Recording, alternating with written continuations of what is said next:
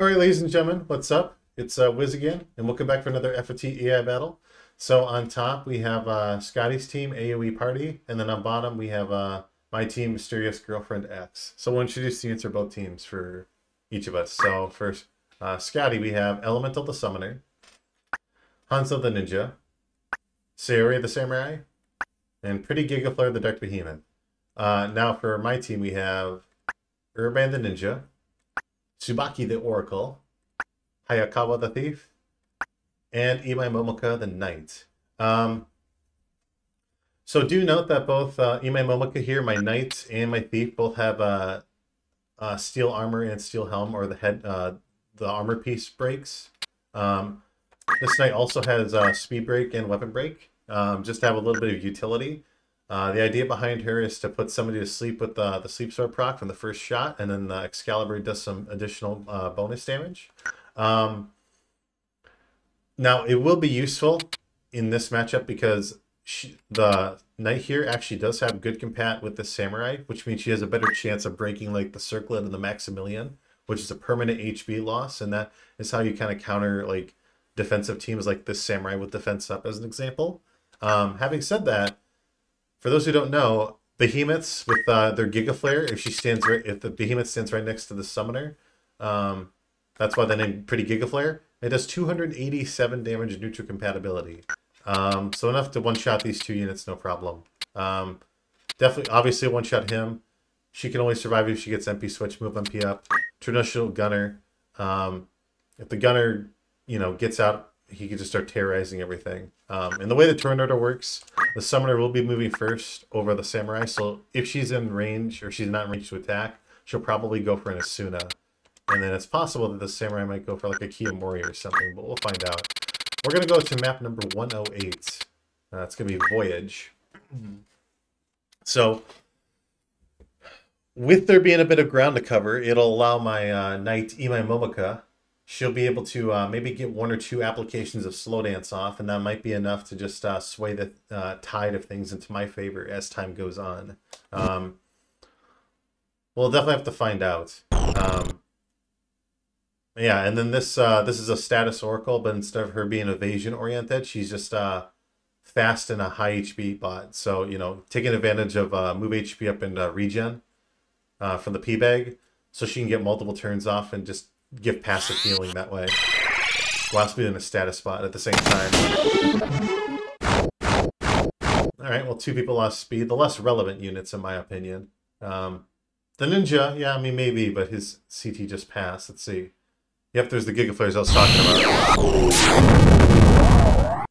MP Switch does not trigger, but Re-Raise does bring her back to life. And she's able to just simply hit and run. Again, with the MP Switch move MP up combo, with uh, ninjas having a cap of 50, there's only it's a coin flip as to whether basically she lives or dies. You guys see any berserks? No, we do not at 23%. I believe they have worse than that. And everybody lost at least a point of speed there. That is massive.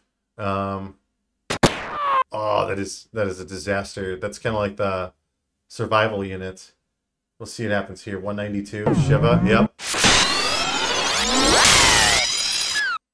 Real, yeah, and, uh, MP switch did not trigger again. Um, those reaction abilities right there did, but uh, uh, no dead proc. Auto potion heals all that back up. Um, now, unfortunately, given the circumstances, the revivers are dead, so it is a permanent 2v4. So, really, the only way in which I could see myself coming back from this is if uh, somehow I'm able to just... Ah, damn, that's that's a shame. Yeah, the only way I could see this happening is if she just goes for Charm, and Charm just terrorizes the rest of the team. But that did not uh, come into fruition. And uh, yeah, that Summoner was just able to simply hang back and just literally tear, you know, destroy. Um, we might see a Charm for the Behemoth. Let's see. Yes, we do. Not too bad. Any mid charges for a kill? Very close. Unfortunately, a Blade Grasp triggered.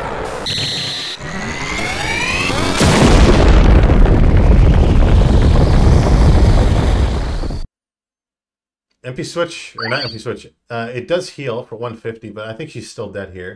She's extremely close. Two auto potions, thank God, saved her life. Uh, any Mimic Daravons or Berserks? Uh, Berserk is not the smartest idea there, just because it would boost his damage further.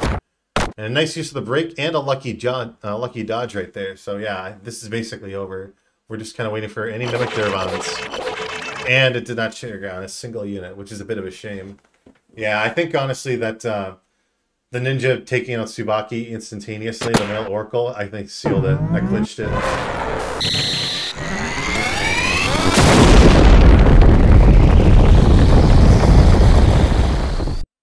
Yeah. That was definitely something right there. Unfortunately, that's probably the biggest threat for that Oracle is just being able to literally one-shot from a distance like that. And let's take a look real quickly. Scorpio and Pisces. Good compat. Yep. Even if there wasn't good compat, this Oracle still get one-shotted. So, yeah, it really depends on what that Oracle, I think. I think the Oracle is the, in my opinion, I feel like he's the anchor to the team. Uh, being able to do status, being able to uh, heal people, uh, use raise twos for you know full HP heals. It's um, it's pretty imperative in my opinion. But uh, yeah, let's see what happens here this time. I don't know. Uh, Blade Grasp doesn't come into fruition. I wonder if this behemoth is. I think he's. I don't. Well, hold on one sec. Does get a charm. Now I wonder if he can go for a monster skill on his own team. It does not look like it. It's a little bit unfortunate that occurred. Uh, MP switches. Let's see what's going to happen here. I'm curious. A holy? I bet she's charging up a Bahamut to try to kill him off. Yeah. The slow is not going to matter too much. It doesn't impact the charging time of the spell. The holy. Yeah, because of the positioning of the map, the units are immediately going on the offense. And uh, as such, that uh, ninja is not going to be able to get a turn off. Let's see. 96. Yeah, still 72 plus. Yep, holy. I'm guessing the summoner is going for Bahamut just to kill off the uh, the ninja, and that was the only spell that allowed you to do so. But um, yeah, so again, even if you're like a defense sub damage split, you know, kind of tank, um, gear breaks are just uh, so they can be just so crippling. It's ridiculous. Uh, Charm doesn't connect, but I don't think it really matters here.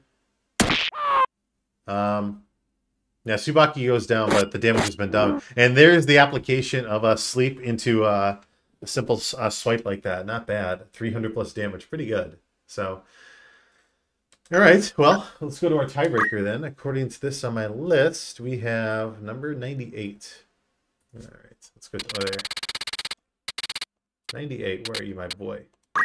Outside gate in Lesalia. Uh, I think this is an unused map. I think there's like one team is underneath the drawbridge, if I recall. Yeah. Okay. Um, yeah, I think uh, whoever prevails here is going to be determined as to whether this ninja is able to go uh, gun down people or not. If uh, ninja is able to get his turns in and just harass the shit out of everybody, I think I'll be at the disadvantage. If not, I think I might have a chance here. Yeah, because uh, right, wisely. See, so once again, he's going for that uh, Going for that Bahamut. She's probably going to be able to get mid-charged, at least by my faster units. Um, I don't know why she's going for throws. Doesn't kill her, sadly. Um, let's see. A bag smack will kill her? Yay or nay? That's huge. That is life or death right there. That is uh because if, if she if that would have connected, the Bahamut would not be going would not be going off. Giga Flare too. Yeah, no auto potion. Oh, that clinches it. Yep.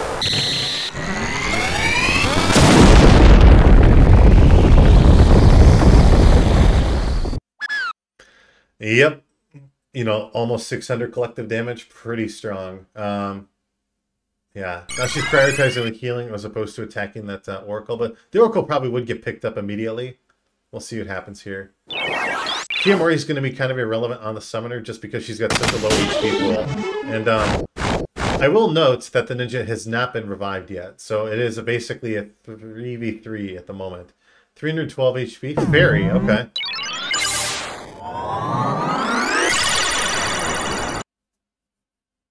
Uh, I'm not exactly sure what she's doing. That's kind of worthless.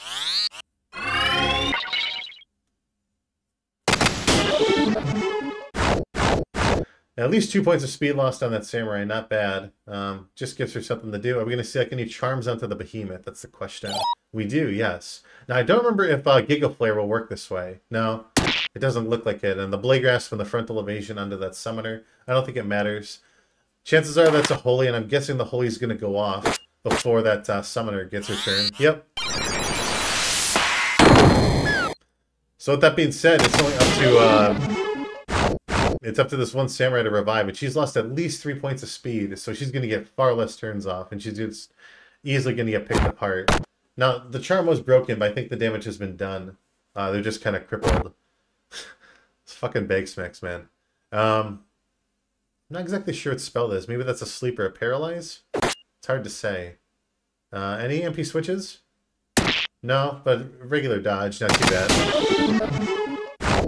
I think that's at least... Let's double check real quick. I think that's at least four points of speed loss. Paralyze. Okay. And the behemoth walked into it. Let me see. Three a, a three speed unit. It doesn't matter how many doesn't matter how tanky you are, but the less turns you get, less momentum. Protect shell wore off, so yeah, she's basically dead at this point. Um,